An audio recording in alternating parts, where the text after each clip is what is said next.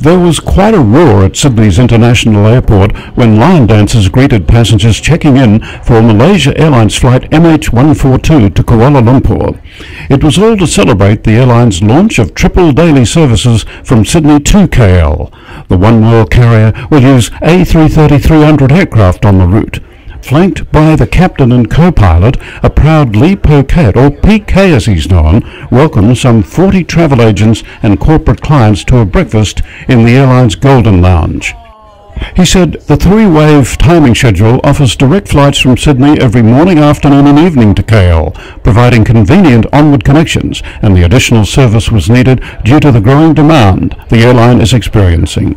He said last year there was an overall increase of nearly 20% in passenger uplift and discharge from Malaysia, and an increase of just over 5% in international arrivals into Sydney.